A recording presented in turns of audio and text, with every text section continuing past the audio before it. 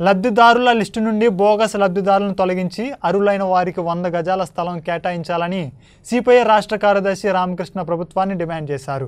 పశ్చిమ గోదావరి జిల్లా ఏలూరు సిపిఐ కార్యాలయంలో ఆయన మీడియా సమావేశం ద్వారా మాట్లాడారు. ఈ సందర్భంగా రామకృష్ణ మాట్లాడుతూ డిసెంబర్ ఇరవై ఐదు నాటికి లబ్ధిదారులకు టిడ్కో గృహాలతో పాటు మౌలిక సదుపాయాలు కల్పించాలన్నారు. లబ్ధిదారుల లిస్టు నుండి బోగస్ లబ్ధిదారులను తొలగించి అర్హులైన వారికి వంద గజాలు కేటాయించాలన్నారు. రాజధానిగా అమరావతిని కొనసాగించాలన్నారు. కేంద్ర ప్రభుత్వం మూడు వ్యవసాయ చట్టాలను వెంటనే రద్దు చేయాలని లేని పక్షాన సిపిఐ రైతు పక్షాన నిలబడుతుందని హెచ్చరించారు. ఈ సమావేశంలో సిపిఐ జిల్లా సెక్రటరీ డేగా ప్రభాకర్ రావు తదితరులు పాల్గొన్నారు. అదేవిధంగా ఇళ్ళ స్థలాల విషయంలో కూడా అన్యాయం ఏమంటే చాలా ఆశ్చర్యం. ఇళ్ళ స్థలాల విషయంలో ప్రభుత్వం దాదాపు ఏడు వేల కోట్ల రూపాయలు ఖర్చు పెడతా ఉన్నారు. ఏడు వేల కోట్ల రూపాయలంటే it is not a small amount. ఏ ప్రభుత్వం కూడా ఒక ఇళ్ళ స్థలాల కోసం ఇంత పెద్ద ఎత్తున డబ్బు ఖర్చు చేయడం అనేది మామూలుగా జరగదు. ఈ ప్రభుత్వం చేస్తూ ఉంది. అందులో అవినీతి జరిగిందంటా ఉన్నారు. దానిపైన ప్రభుత్వం విచారణ జరపాలి.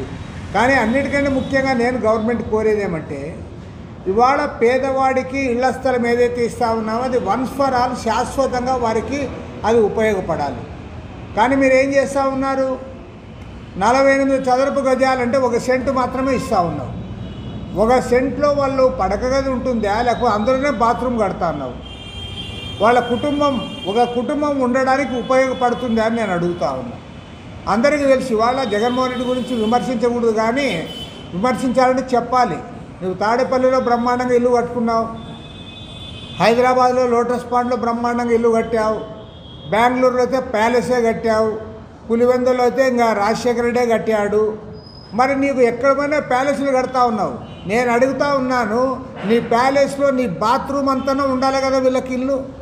నీ బాత్రూమ్ ఎంతైతే ఉందో ఆ బాత్రూమ్ అంతానే కూడా ఒక కుటుంబం నివసించడానికి వీళ్ళకి ఇల్లు ఉండాల్సిన అవసరం లేదా అని నేను అడుగుతా ఉన్నాను నువ్వు పైగా ఏమంటున్నావు? ఏడు వేల కోట్ల రూపాయలు ఖర్చు పెడతా ఉన్నాను ముప్పై లక్షల మంది లబ్ధిదారులకు ఇస్తా ఉన్నానని చెప్తాను ముప్పై లక్షల మంది లబ్ధిదారులు ఉన్నారా? ఎవరు వాళ్ళు? వాళ్ళు ఇల్లు లేని వాళ్ళ వాళ్ళ నిజమైన పేదవాళ్ళ వాళ్ళకి నిజంగా అర్హత ఉందా?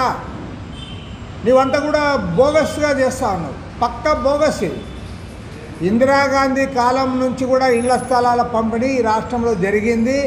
దాదాపు ఇళ్ళ స్థలాలు ఇప్పటికే చాలామంది తీసుకున్నారు. ఇళ్ళు కట్టుకున్నారు. ఇల్లు కట్టుకున్న వాళ్ళకి ఇల్లు ఎందుకు ఇస్తావు? ఇల్లు లేని వాళ్ళకి ఇల్లు ఇస్తావా? లేకపోతే ఇంటి స్థలం ఎవరికి ఇవ్వాలి? ఇల్లు లేని వాళ్ళకి ఇవ్వాలి. నీవు అందరికీ నీ వాళ్ళందరికీ ఇస్తాను ఎవరు వస్తే వాళ్ళంతా కూడా లిస్టులో రాస్తారంటే సరైంది కాదు. కాబట్టి నేను ప్రభుత్వాన్ని కోరేది ఏమంటే బోగస్ లెక్కలు పక్కన పెట్టండి. ఎవరైతే అనర్హత వాళ్ళకి అర్హత లేని వాళ్ళు ఉన్నారో వాళ్ళందరి పేర్లు తీసేయండి. అర్హత ఉన్న పేర్లకి ఇవ్వండి ఒకరికి ఖచ్చితంగా వంద గజాలు ఇవ్వడానికి అవకాశం ఉంది. ఇవాళ ప్రభుత్వం సేకరించిన భూమి యాభై అరవై వేల ఎకరాల భూమి ఏదైతే ఉందో ఏడు వేల కోట్ల రూపాయలు ఖర్చు చేశామని మీదైతే చెప్తా ఉన్నారు. ఆ భూమిలోనే మేము చెప్పినట్లుగా ప్రతి కుటుంబానికి వంద గజాలు అర్హులైన వాళ్ళకి ఇవ్వడానికి అవకాశం ఉంది. ఆ రకంగా ఇవ్వాలని మేము డిమాండ్ చేస్తూ ఉన్నాం.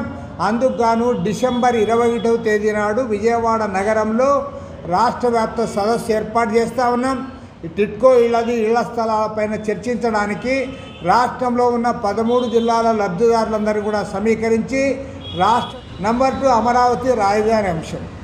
రాజధాని అంశం పైన పోరాటం కరెక్ట్గా ఫుల్ వన్ ఇయర్. నిన్నటి డిసెంబర్ పదిహేడవ తేదీ నాటికి సంవత్సర కాలంగా ఉద్యమం కొనసాగుతూ ఉంది. వన్ ఇయర్ అయిన తర్వాత కూడా ముఖ్యమంత్రి గారు ఏం మార్పు రాలే? ఏమీ మార్పు రాలే. పైగా ఆయనేమి పోటీ ఉద్యమం పెట్టాడు. టెంట్ పోటీగా వేస్తే ఒక్క ఓటు మెజార్టీ వస్తే రాజధాని మార్పుకు అనుకూలంగా. మేము ఇంక మాట్లాడేదే మానేస్తాం. ఇంకా ఇంతకంటే మించిన ఛాలెంజ్ ఇంకోటి ఉండదు. పెట్టెక్కడ? నీ నియోజకవర్గమే కదా. నీకు బాగా పట్టున్న నియోజకవర్గమే కదా. ఎవరి ఆమోదం లేకపోయినా సరే నేను చెప్పాను కాబట్టి జరగాలి. సంవత్సర కాలంగా పోరాటం చేసినా నేను పట్టించుకోను వాళ్ళతో మాట్లాడను అనే పద్ధతిలో వివరించడం సరైంది కాదు.